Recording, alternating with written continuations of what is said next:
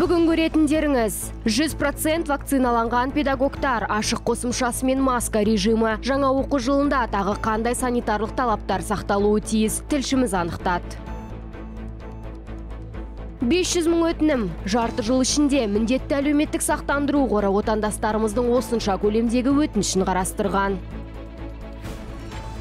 Илон Маск Байқоңырға келуі мүмкін. Әйгілі өнертапқыш қандай шараға шақырылған алда айтамыз.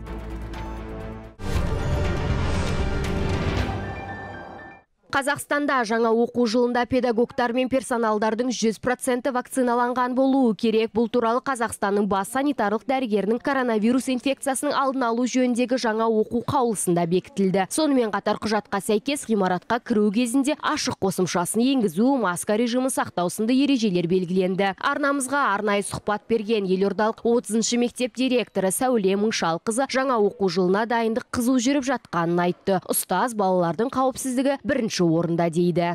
Біз ақпан айынан бастап барлық мұғалім ұстаздарымызды қызметкерлерді барлығын вакцинациядан өткізуге тырыстық. Қазір мысалы мектептегі барлық қызметкерлер жүз пайыз вакцинадан өтті.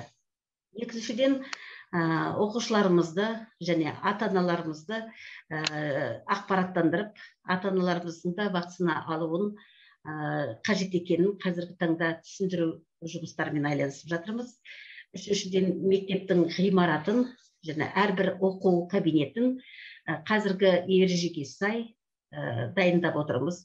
Сондай ақ маман балалардың топтасып жиналмау үшін әрбір сыныптың өзінің жеке қоңырау уақыты болатынын және бір баспалдақпен мініп екіншісімен түсетінін айтты. Бұл оқушыларға ғана емес барлық персоналға бірдей ереже болмақ. Айта кетейік биылғы оқу жылында отызыншы мектеп бұрынғыдай бес күн емес алты күн бойы жұмыс істемек. Себебі екі ауысымның арасы ұзақ болуы тиіс. Осылайша екінші ауысымда оқитын балалар келгенше сыныпқа қызметкерлер дезинфекция жұмыстарын жүргізіп үлгереді.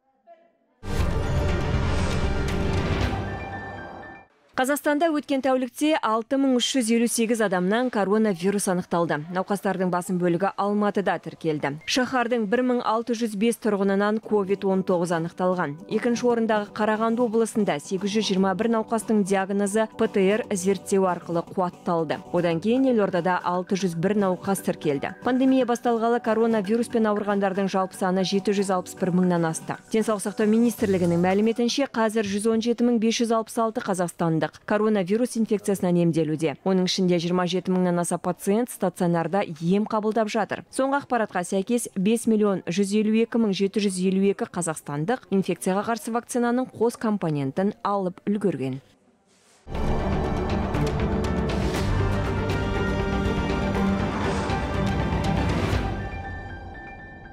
Францияда қыркүйек айының ортасынан бастап коронавирусқа қарсы вакцинаның үшінші дозасы егіле бастайды. Препарат 65 жастан асқан, сондай-ақ диализдегі химиотерапия алатын немесе трансплантациядан өткен адамдарға салынады. Жалпы елде бүгінге дейін вакцинаны 40 миллионнан астам адам немесе ересек азаматтардың 76% алып үлгерді. Дегенмен республикада індеттің төртінші толқыны әлі де жүріп жатыр. Күн сайын 21 мыңға жуық жаңа инфекция тіркелуде. Вакциналау науқанынсыз денсаулық сақтау жүйесіне қысым екі есе жоғары болар еді дейді ғалымдар. Егер вакциналаудан кейін алты ай өтсе қауіп тобындағы адамдардың уақыт өте келе төмендеуі мүмкін. Иммундық жүйесін қолдау қажет. Ревакцинация тәртібі анықталады. Үкімет жақын арада қайта вакциналаудың күнтізбесін ұсынады. Ал Кубада коронавирусқа қарсы балаларға арналған вакцинаның клиникалық сынақтарының соңғы кезеңі басталды. Оған 300-ге жуық кәмелетке толмаған жеткіншек қатысып жатыр. Тәжірибенің ең кішкентай қатысушысы небәрі 3 жаста. Кубалық балаларға 28 күн аралығымен 3 доза егіледі. Екпе әзірлеушілер кәмелетке толмағандарды коронавирустан қорғау үшін сынақтың соңғы нәтижелерін әлемдік қауымдастықпен бөлісуге дайын. Вакцина балаларды covid 19 дертінің ауыр түрлерінен қорғайды. Сондай ақ олардың дамуына әсер етуі мүмкін аурулардың алдын алуға көмектеседі. Бұл біз үшін ғалым ретінде өте маңызды. Аралық нәтижелер вакцинаның қауіпсіз екенін дәлелдеді.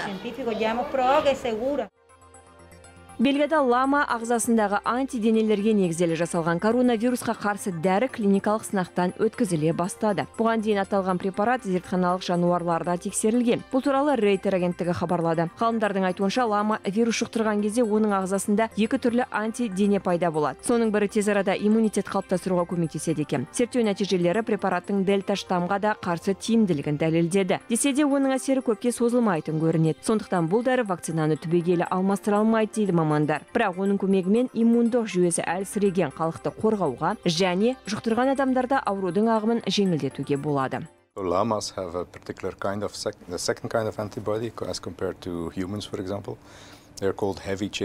Ламадағы коронавирусқа қарсы антиденелердің екінші түрі әмбебап қарапайым құрылымы бар. Бұл ақуыздарды конструктор ретінде басқа ақуыздарға қосуға болады. Сондықтан оларды қолданған жөн. Сонымен қатар олардың кішкентай көлемі қарапайым антиденелерге қарағанда вирусқа тезірек жетуге мүмкіндік береді. Біздің ғалымдар бұл қасиетті 30 жыл бұрын ашқан. Um, which now that department is also part of our institute. So we have a long tradition with working with these kind of antibodies.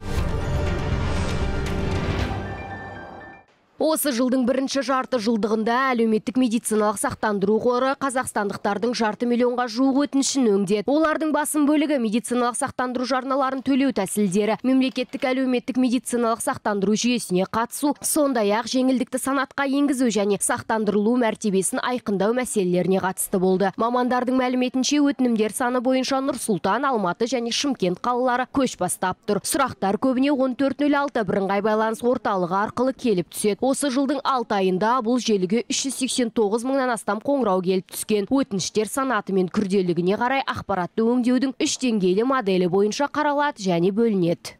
Первый уровень осуществляется именно операторами э, контакт-центра, отвечающими на телефонные звонки. Бірінші деңгейді 1406 нөмірі бойынша телефон қоңырауына жауап беретін байланыс орталығының операторлары жүзеге асырады. Операторлардың екінші желісі SRM жүйесінде тіркелген өтініштерді қарауды жүзеге асырады және жағдайды неғұрлым егжей тегжейлі зерделеуді не нақтылауды немесе қосымша нормативтік құқықтық актілерді зерделеуді талап етеді. Бұл жұмысты қор филиалының қызметкерлерінен және медициналық ұйымдардың қызметкерлерінен тұратын операторлардың екінші желісі орындайды. Э, которые состоят из сотрудников филиала фонда и из сотрудников медицинских организаций. Айта кетейік, шағым қалдыру немесе кеңес алу тек кол орталық арқылы ғана емес, қолдау 24-те 7 мобильді қосымшасы арқылы да жүзеге асырылады. Аталмыш қосымша арқылы алғашқы жарты жылда 82 мыңнан астам өтініш өңделді. Сондай-ақ сұрақтарды FMS KZ сайтына немесе Telegram желісіндегі қорға жіберуге болады.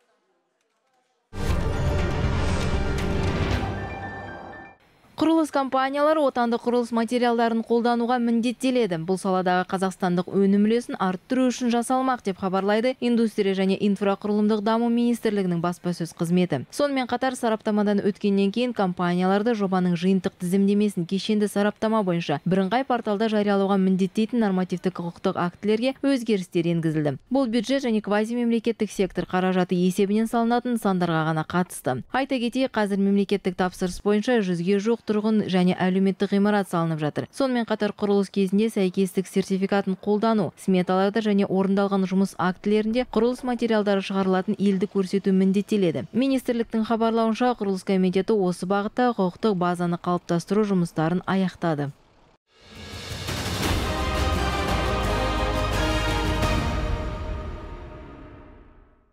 Биыл 29 тамызда әлемдегі ең ірі ядролық сынақ алаңдарының бірі Семей полигонының жабылғанына 30 жыл толады. 1991 жылы Қазақстанның тұңғыш президенті елбасы Нұрсұлтан Назарбаев тарихи жарлыққа қол қойды. Ал 2009 жылы Біріккен ұлттар ұйымының 64 сессиясында 29 тамызды ядролық сынақтарға қарсы халықаралық іс-қимыл күні деп белгілеу жөнінде ұсынысы қолдау тапты. Қазақ елі әлемде өз еркімен ядролық қарудан бас тартқан мемлекет ретіндегі тарихи құжаттарды Семейде ашылған маңызды шешімдер кезеңі көшпелі көрмесінен көруге болады.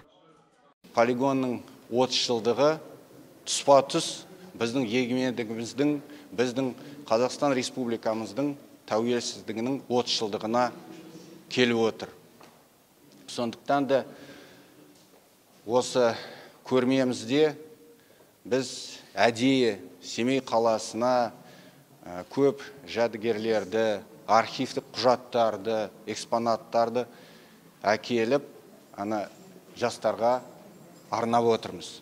Жалпы сынақ алаңындағы 40 жылдың ішінде 400-ден аса жарылыс болды. Оның 90 әуеде, 26-сы жер үстінде және 26-сы жер астында жүргізіліпті. Бұл қасіреттен миллионнан астам адам зардап шеккен. Елбасы кітапханасының көшпелі көрмесінде осы туралы 1989 жылдан бастау алған халықтық антиядролық қозғалыс тарихы жөнінде тарихи деректер мен жәдігерлер бар. Қазақстанның тұңғыш президентіне жаһандық қауіпсіздік сақтаудағы еңбек үшін берілген Ұлыбритания, ақш, Жапония сияқты мемлекет басшыларының сыйлық сыйлықтары да осында. Көрмеде барлығы 200-ден астам құнды дүние көпшілік назарына ұсынылып отыр шара қыркүйектің соңына дейін жалғасады. Сонымен қатар павлодарда семей полигонының жабылғанына 30 жыл толуына арналған форум өтті. Невада семей қозғалысына қатысқан азаматтар ядролық сынақтарды тоқтату кезіндегі қиындықтар туралы айтты. Қоғамдық саяси қозғалыстың бастауында қазақстанның халық жазушысы ақын олжас сүлейменовтің тұрғаны мәлім. Алқалы жиынға олжас омарұлы бейне конференция арқылы қатысты.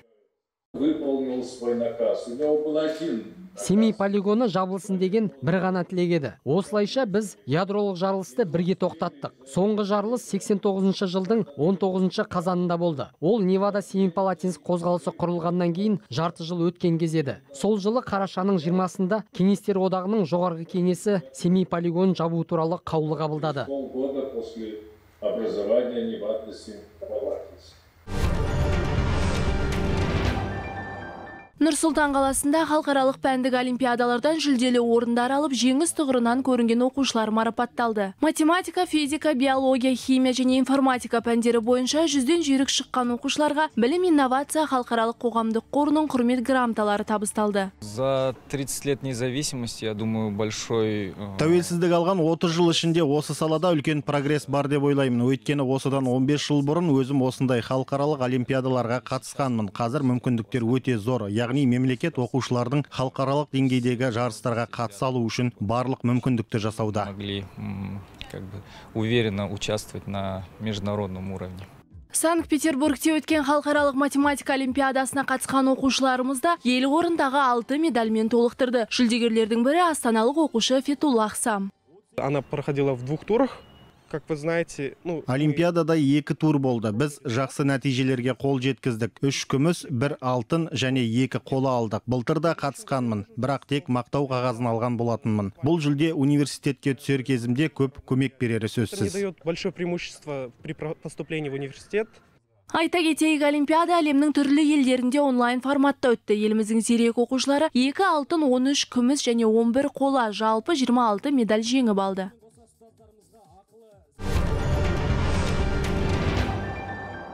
Қазақстандық спортшы Давид Дегтяров Токиодағы паралимпиадада ел қоржынына алтын жүлде салды. Пауэрлифтингтен 54 келі салмақта сынға түскен ол 172 келі көтерді. Бұл Давидтің спорттық мансабындағы ең ірі жеңісі. 2018 жылы ол Пара Азияда ойындарында күміс медаль еншілеген еді. Кейін араға бір жыл салып елордада өткен әлем чемпионатында 5 орынға тұрақтаған. Ал биыл Тбилисиде өткен әлем қатысып алтын алды.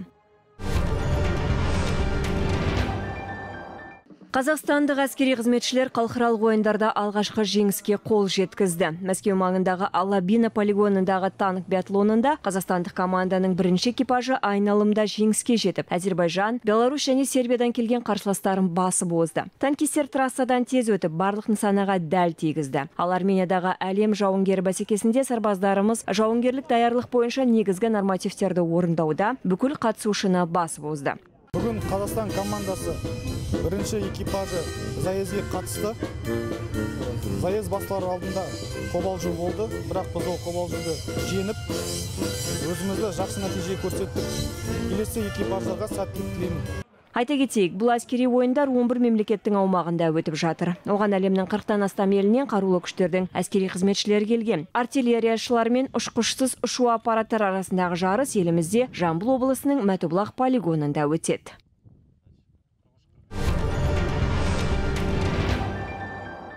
атақты илон маск байқоңырға келуі мүмкін. Өнертапқышты ричард брэнсон мен джефф безос сынды танымал тұлғалармен бірге ғарыш айлағына роскосмос мекемесі шақырды. Ғаламат үш ғарыш энтузиазисті біздің жобаға байқоңыр төрінде куә болса керемет болар еді деді дмитрий рогозин ресейлік телеарнаға берген сұхбатында. Ұсынысты құп алған жағдайда олар ерекше экипажы бар союз мс 19 кемесін ұшыру салтанатына қатысады. Айта кетейік қазанның бесі күні көкке көтерілетін экипаж орбитада көркем фильм түсірмекші. Вызов атты картина ресейлік роскосмос мекемесі мен ресейлік телеарнаның бірлескен ағартушылық жобасы. Ғарыш тақырыбындағы картинада басты рөлді юлия пересильд сомдамақ. Актрисамен бірге орбитаға кеме командирі ресейлік ғарышкер антон шкаплеров режиссер және оператор клим шипенко көтеріледі.